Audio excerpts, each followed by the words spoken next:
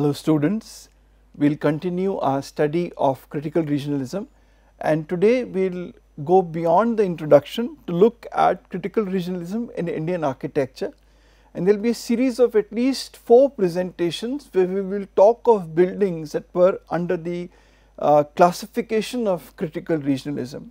Now you might be wondering that now we have reached to, we have done a very large chunk of this course and much of our course has been concentrated on concepts and evolution ideas of modern Indian architecture.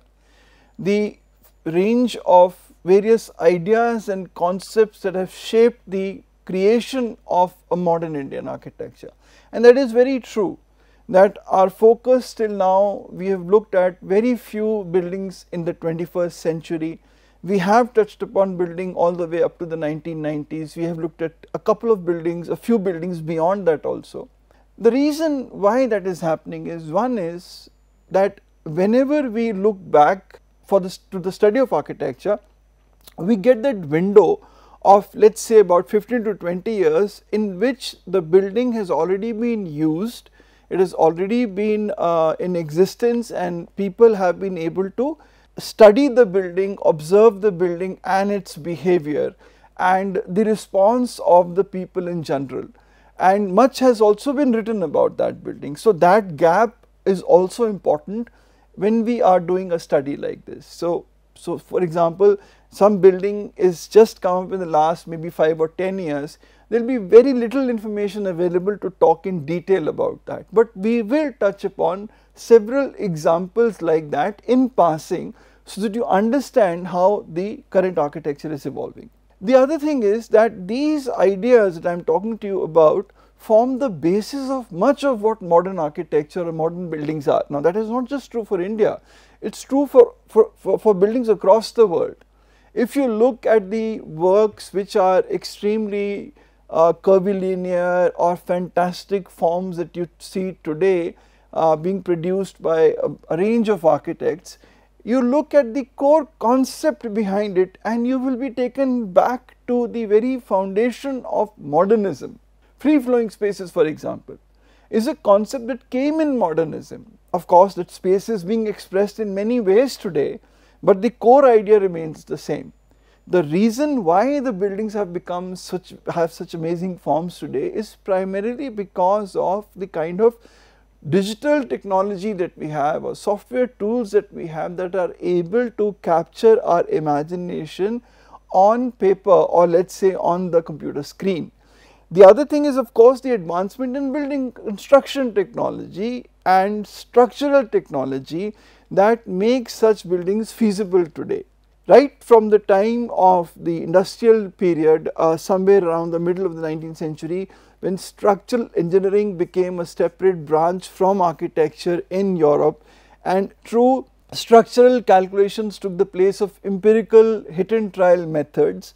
Right from then onwards structures and the understanding of structural design analysis has evolved and now it has come to a very advanced stage. It is also being aided by immense amount of uh, software technology that makes mundane calculations much more easier and faster to perform and that is why many more imaginative structural solutions are possible today because of that. So, the growth and the evolution of forms and the kind of uh, the buildings we are seeing today has a lot which is because of advancement in technology. So, is there a new concept coming up that redefines when uh, modern houses, modern corporate buildings, very limited conceptual changes have happened. They have happened, there is no denying that and if we someday you get an opportunity to study modern world architecture, you will see some of these concepts being you know brought forth in those buildings in the 90s, 80s and the 1990s. In India, I believe that one of the dominant trends has been this combination of modern with regional architecture. most of the iconic works that we see around us or that we remember or that is being talked about in academic circles and that are there is a lot of raving reviews written about them are predominantly in the category of regional modernism or critical regionalism. So, let us go back again to this. When what has been the impact of globalization on architecture? In India post 1991, transforming cities has led to a homogenizing built environment globally there are similar built spaces and buildings that are not responsive to regional context. Look at this, the, the picture that is on, on the side. If you consider the architecture then in the past, then Asia was different from Russia, from Europe and South America. Each one had its own regional identity. But then because of modernism, this is what happened. It became homogenized the advantages of modernism notwithstanding the fact that modernism brought in functional better buildings suited for industrial society notwithstanding the fact it still remains that these buildings had a rootless placeless identity and when you look at them you do not know whether the buildings are being made in Asia or South America or Europe. So, it disconnected people from their built environment. What what then was the ideal solution? This is what I mean by placeless, rootless identity. Look at these glass and steel buildings, whether it is in Germany or Nigeria or the UK or Italy, all of them look the same. So much so that if I were to just to show you a photograph of a glass and steel building, it would be next to impossible for you to identify where that building comes from. But if I were to show you a picture of a regional building, with regional architecture, in many cases you will be at least able to peg the picture to very close to where, from, to, to where it belongs. So, there has been a direct impact of masters in modernism in India and Louis Kahn has directly has directly been interpreted or taken forward by Anant Raje we see the direct impact of Corbusier on the work of Shivnath Prasad in the Akbar Hotel.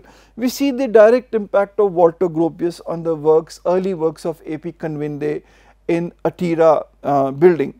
But there were many architects who worked with the masters and they decided that they needed to evolve. The, the very reason that led to the creation of an architecture, in modern Indian architecture with a regional identity that these people who had worked with the architects or uh, the master architects or studied under them, they wanted to move forward, but it took a long time for them to evolve their own architecture. By long time I mean period of a couple of decades to really uh, have a very strong footing in a style that was their own. The problem was of following the master and yet having to develop their own identities without doing it in an arbitrary manner just so that they would be they would appear to be different. And this very reason of some wanting to be different from what they had received from the modernists led to their failure. They could not they could not bring about a change that could be maintained consistently. But there were others who brought in change that could have that had a very solid foundation of concept and reason behind it. It did take some time for them to establish their own identity and some time to deal with the concerns of an, an, an, an a growing young India. But the ability to abstract the essence of ideas from others, particularly from the West and the modernism of the West, and to use them wisely brought them international recognition. Now, I not only mean abstraction from the essence of the western architecture or modernist modernism from the west, but also drawing from drawing the essence of traditional vernacular architecture and interpreting it for a new period. That brought them international recognition. People like B.V. Doshi, Joseph Allen Stein, Charles Correa, uh, Raj Rewal to name a few. Now there has been a continuing impact of masters and modernism that is seen through the work of Indian architects. These are some of the buildings from the 1980s all the way into the 21st century and this reflects either a, a, very refined form of brutalism like this work of Matharu Associates. This is the school of planning uh, at, uh, and architecture at uh, Hyderabad and this is the modern school that I have taught to you earlier. This is the Indian Institute of Forests Management by Anant Raje that clearly shows the imprint of uh, Louis Kahn. So there is a complexity for a modern Indian architecture. What is that? Why is modern Indian architecture a very complex creature? Modernism on the other hand has a very neat and clean palette. The points are very logical and rational, clearly defined and globally used. But when we come to a regional approach, we are faced in India which is India in, in if you if you talk about size and geographical reach of India, it is more or less as if you're talking about an entire continent like Europe. So in India, there is enormous regional, climatic, geographical and cultural variations. There are fundamental differences in building materials and methods of construction and design approaches in different regions of India, right from traditional vernacular architecture and many building types are needed today and that is the need of a modern India from economically weaker section housing to modern industrial plants and corporate buildings. Therefore, because of these vast variations in building typology, in regional variations, cultural variations, climatic variations, topographical variations, it is not feasible to have an architecture that is applicable to the whole of India. What are these variations? There is an enormous regional, climatic, geographical and cultural variations, enormous climatic variations. We are talking about a climate zone map where we have hot and dry, warm and humid, composite, this is the single largest belt that you see in India is of composite and then there are other pockets, then there is temperate and cold. Composite within itself that's got 5 seasons in it. And not only that composite within itself is not consistently the same from one part of the one region of composite climate under composite climate to another region. There also there are variations then there is enormous regional and geographical variations whether we are talking about the mountains we are talking about the the, the, the backwaters of Kerala, we are talking of the desert of Rajasthan or the plains of North India. These are varying topographies from hills to the sea, from desert to green plains. We are talking of enormous cultural variations. The so called thali, the basic uh, full meal which is from different regions of India, the cuisine varies so tremendously and it is so unique and so interesting and therefore and, and over and above that there is a fundamental difference in building materials, methods of construction and design approaches. So if you are talking about a, a, building in, in, in, in the hilly areas of Himachal for example or Uttarakhand for example or you are talking of Kerala, you are talking of Rajasthan, you are talking of Bengal, we are talking of different materials different ways of representing the material, different methods of construction and different approaches of design. You cannot have a courtyard planning in the hills, just as you cannot have a completely enclosed building in composite climate or even in Kerala. Now in Kerala you would require immense amount of cross ventilation because it's so hot and humid. So we have to factor in these variations that was not really happening in modernism. Now if you if you reflect back on the lectures I have given you in the earlier days, remember what I told you, every one of those architects who came, who ventured into India in the modernist period, whether it was Corbusier or Kahn or even earlier than that, uh, uh, uh, Lutyens and Baker and others, all of them had to build their architecture around an Indian climatic response. Even Indian architects who brought in modernism as is in India. For example, A.P. Kanvinde, Habib Rahman and for example Chitle in South India, they also had to modify their buildings to suit climatic conditions. the Atira building is a very direct correlation with the Bauhaus. I have talked about that earlier. The, the glass curtain walling of Bauhaus cannot be put in the Atira building. So, that modification has to happen. And then there is a tremendous range in the types of buildings that we need. As I just mentioned to you earlier, in the pre-liberalization time also vast range was needed from projects as we have talked about the economically weaker section project of the Aranya low cost housing or the uh, so called or hospitals like the AIIMS or apartment buildings like the Kanchenjunga or modern 5 star hotels like the Meridien in Delhi, an industrial plant like the Dudhsagar dairy by AP Kanvinde and the NDDB building which is a corporate office of NDDB in Delhi again by Kanvinde. And the same tremendous range continues post liberalization whether it is a hotel or it is a hospital or it is a, a residential apartment block or a corporate building or EWS housing. So, so many variations have to be factored in. But modernism on the other hand brings about uniformity. In this pictures, a series of pictures of cities in India and there is one picture of a city from Europe. But if you look at it, unless you have a very fine eye for a particular building that represents a city, you cannot identify which is which. For example, this is Mumbai, this is Kolkata, this is Bangalore, this is Gurugram, this is Frankfurt. If I were to switch the terminology, if I were to switch it and tell you that this is let us say Mumbai from a different angle if the picture was taken. It may not have been so easy for you to identify that. One of the ways for example I would identify this picture is because I know this building, this is the Commerzbank by Norman Foster and so I know I am I am looking at a picture of Frankfurt.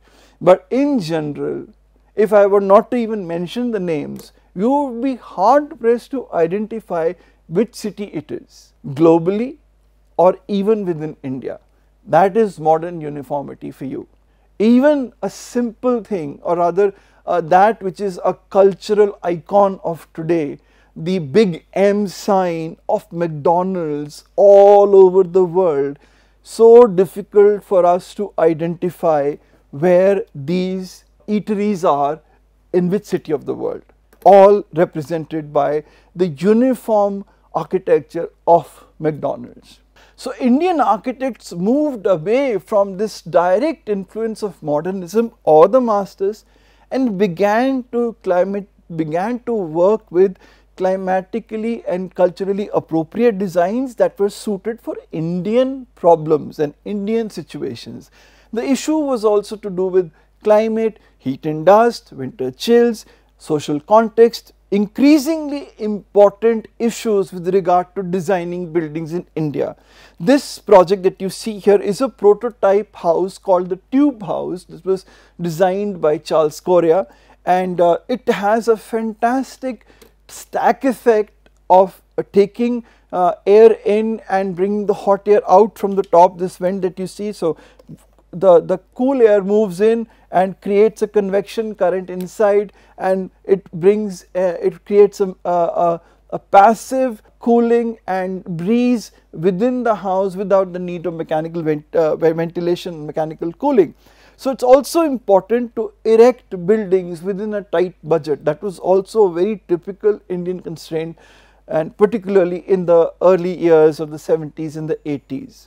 Now iconic works that were built by these architects of that generation which is a combination of modernism plus local and regional local slash regional architecture they were connected with either materials, climate and socio-cultural aspects in many many cases all of them put together. So some of the iconic works that came up which was a consequence of the use of materials and climate and socio-cultural context is this work in Kashmir by Joseph Allen Stein, this building by Laurie Baker in Trivan in Kerala, this is the Asian Games housing by Raj Rewal, this is the Kovalam Beach Resort by Charles Correa and this is the Brise of the I believe the Jodhpur University by UC Jain. Now one house, one house made a vital impact on Indian architecture in more ways than one.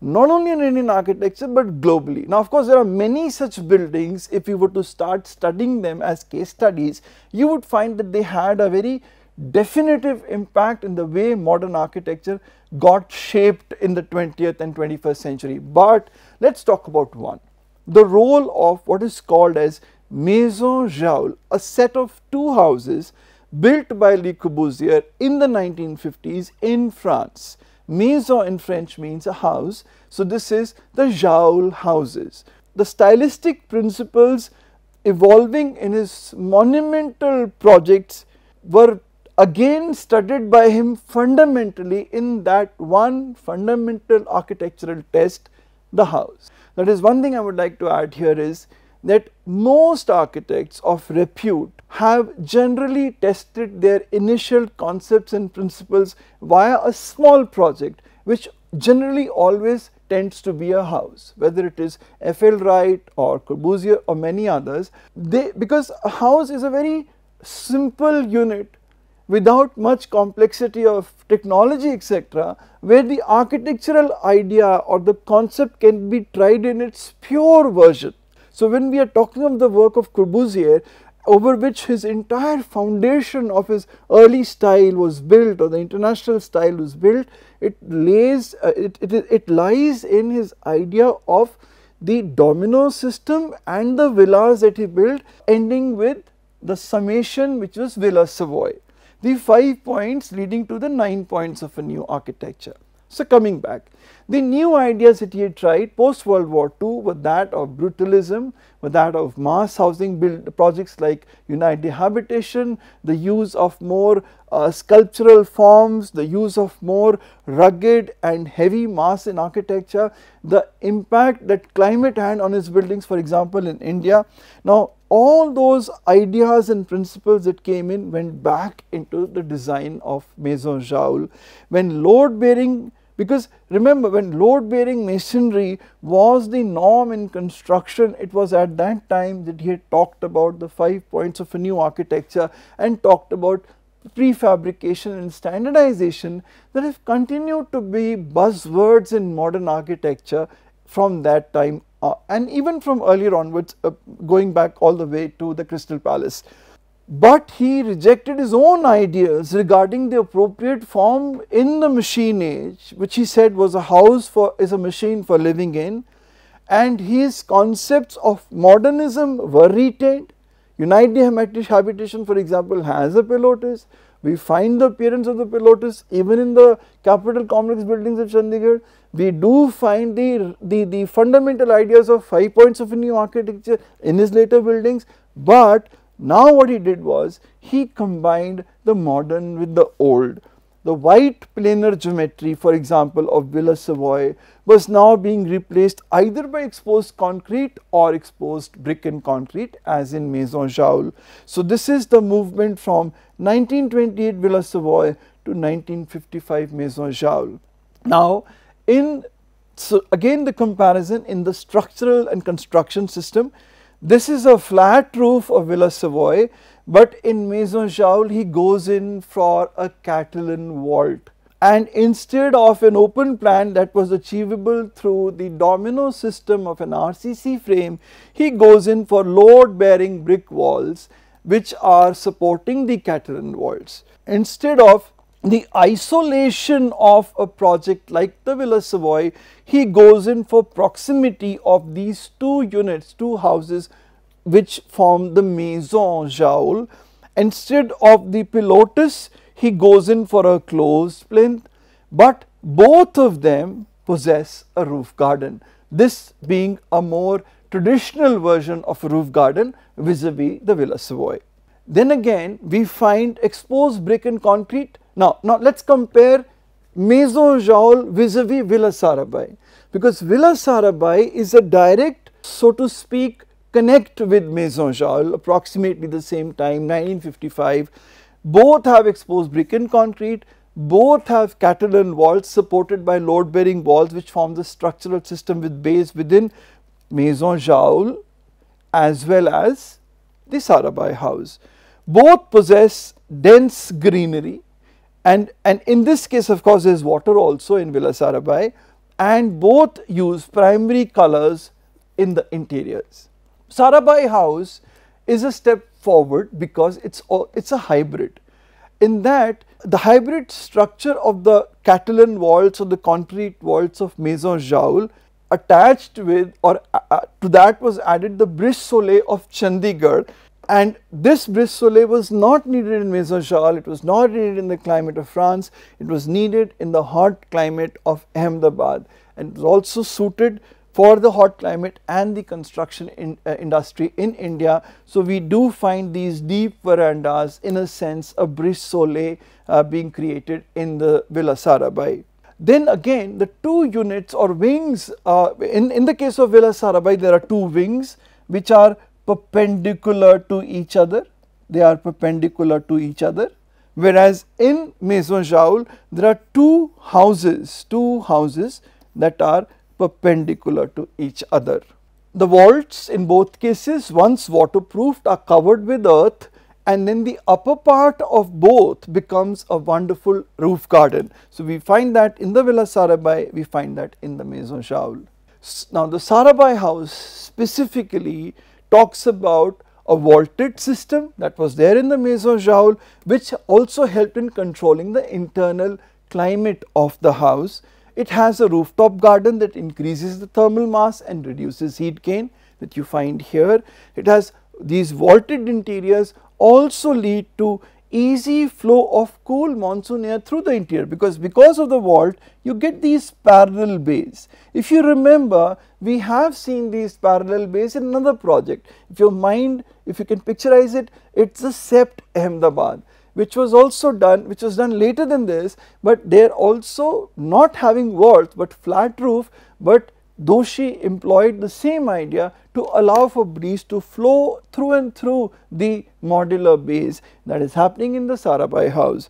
And then there is the swimming pool in the back, the swimming pool here and the shaded verandas that you see which is through and through the house and these these for example the, the, the picture that you see taken from somewhere uh, this picture is somewhere here and then there is the pathway and this is the uh, the space through and through. So, these swimming pools and shaded verandas and there is this cool Madras stone. In fact, one point that I would again uh, tell you later is about the use of the modular scale. So, all these lead to a passive cooling system. Now, there is a climatic and a cultural response in the Sarabhai house. The Brise Soleil on the south facade is, this, is a similar rhythm to the shaded arcade that you find in Fatehpur Sikri. This picture shows the connection. This is a build, uh, this is uh, this picture shows the the shaded arcade of Fatehpur Sikri vis-a-vis the the uh, model the the Brise Soleil uh, units uh, together in the Villa Sarabhai as you see here in the picture and this is a similarity drawn from the uh, cultural context. Then we have again the address to the cultural lifestyle. The important part is the entire Villa Sarabhai is designed in such a manner that e, the particular indoor space is suited for a particular part of the day climatically. For example, there is this morning room that is provided here which is the dining room when the sun comes in and thus it becomes a very pleasant space to be in in the morning. Therefore, there is a consonant response of interior spaces with respect to endothermal comfort and activity. That means the endothermal comfort that is provided is connected with the connecting activity. So, if I move to a different part of the house in the afternoon based on my activity, that will be also the climatically best part or the ideal part of the house during that time of the day. That for example, I talked talk about the morning light penetrating into the dining room to help the start uh, to help start the day. Then there is this ability to redefine spaces throughout the day allowing for various activities to proceed because the climate automatically leads to such kind of utilization of spaces. Now, this is also an idea that we have seen in another project I talked about earlier and that is the a house that was done by Charles Correa in which there was a winter section and a summer section. I believe it was the, the Parekh house and in that particular house certain section of the house was designed to be more suitable for the winters and certain section more suitable for the summers. You can also look up a similar kind of uh, concept in the tube house that I just showed you the prototype where actually there is a day section and a night section. So, the spaces there are uh, that can be used in the day can then be adapted for use in the night.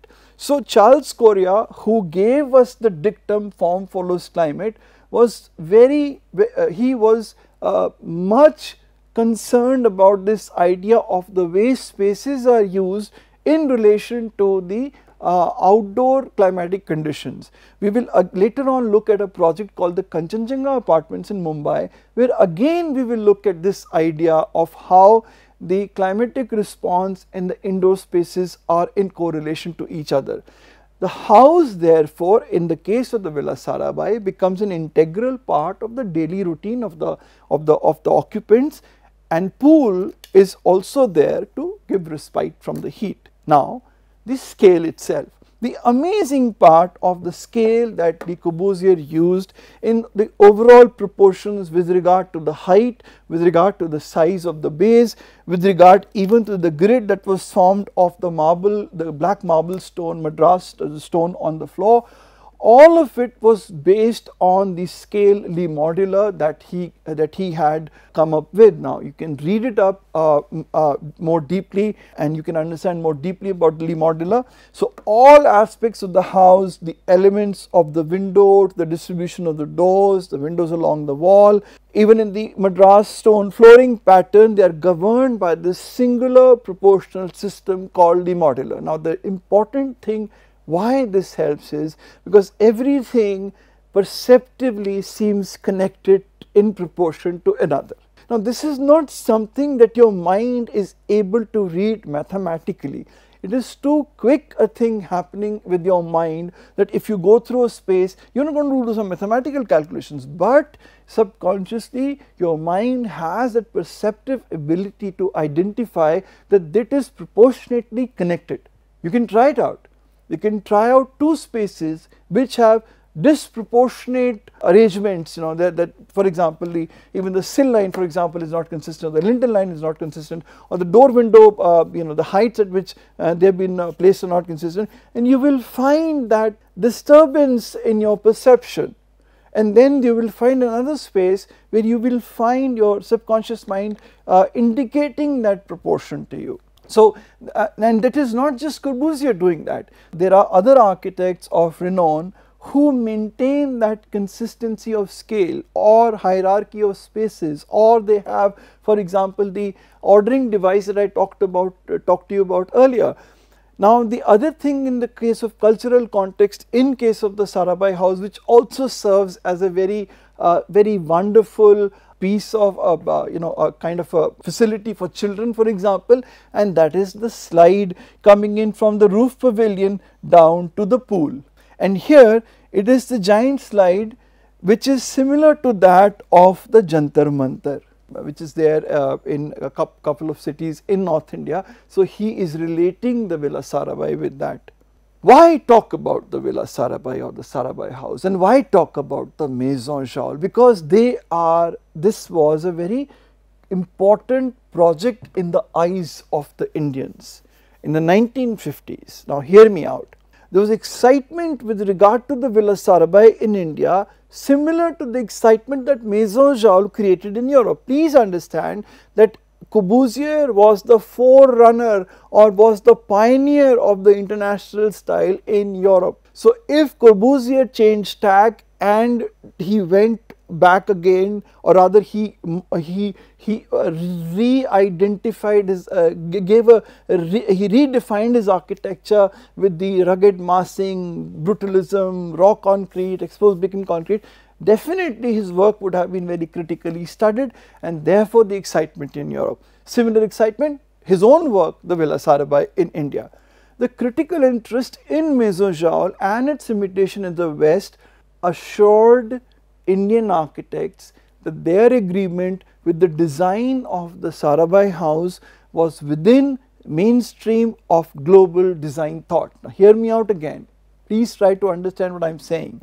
The very fact that the Indians were able to appreciate the spaces of the Sarabhai house and they were able to appreciate the design of the principles and uh, the principles design principles behind the Sarabhai house and knowing that same principles have been executed in the Maison Jaoul and Maison Jaoul itself has become a world renowned project highly acclaimed by western architects as a part of the larger ambit of modernism gave the assurance to the Indian architects that when they are responding with a regional context for Indi modern architecture, they are still within the mainstream idea of a global design theory or global design thought. The ideas of Sarabhai House in tune with climate, materials and social cultural context in India, therefore modernism could fit in a local context. This was important because this gave the Indian architects, the young architects of the time a sure footing to build modernism with a regional identity in India. Now the impact of Maison Jaoul was felt all over including and, and so also we can parallelly say the Sarabhai house in India. Uh, this is a building in Europe, this is another. So uh, these are uh, three different houses, uh, BV Doshi done by BV Doshi, I believe this has been done by uh, Raj Rewal and this has been done by uh, Charles Correa. So another architect who lay hold of the idea of vernacular architecture uh, in connection modernism was U.C. Jain and it was a regional vernacular architecture. The impact of Rajasthan is clearly seen, his buildings reflect the heritage of Rajasthan.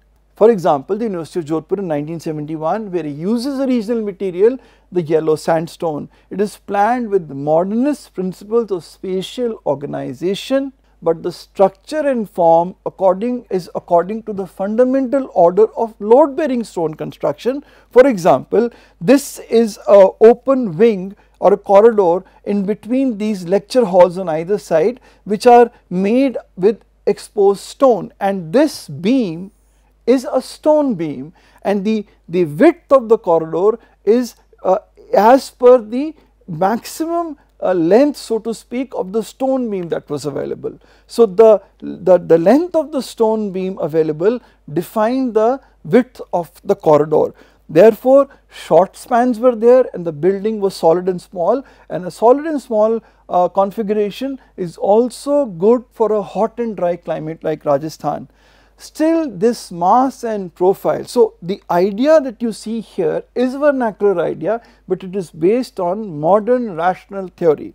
Now, this mass and profile that you see here in the lecture complex which is one of the most interesting spaces in the Jodhpur University is directly connected to the idea of the stone steps, this flight of stone steps you see here and you see here that are framed in this stout masonry that is an experience that is an, an intimate experience of the old town. So, we find that space similarity within the traditional architecture. Stone is the primary material used in Jodhpur University and it is also the determinant of the structural order as I spoke to you about the beam. Steel and cement have been used minimally and therefore it is a cost effective design. Now to counter the hot and dry desert climate the building has been constructed with a double wall.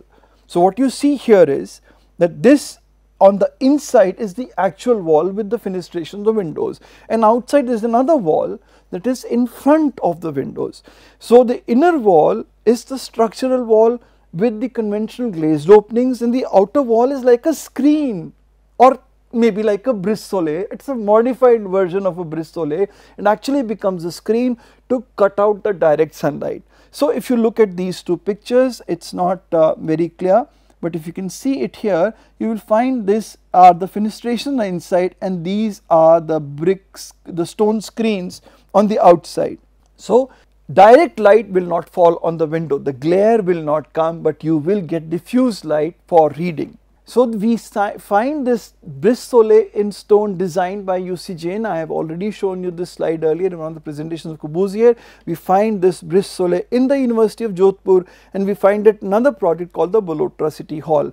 Now in his case as I told you earlier the brise soleil is not directly connected to the building as in the case of Corbusier but to it is adapted for the hot and dry climate of Rajasthan. In that it is constructed at a distance from the building to cut the sun from directly impacting on the facade of the building. Now the stone pergola that you find here I just showed you earlier screens the central node at which these four lecture theatres emerge. Here as you find here and therefore the lecture theatre design which is in a step form is a modern lecture theatre design but the construction technique used is vernacular.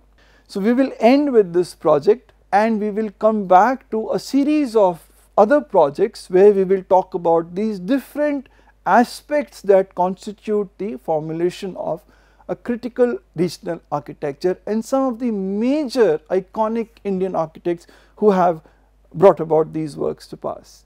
Thank you.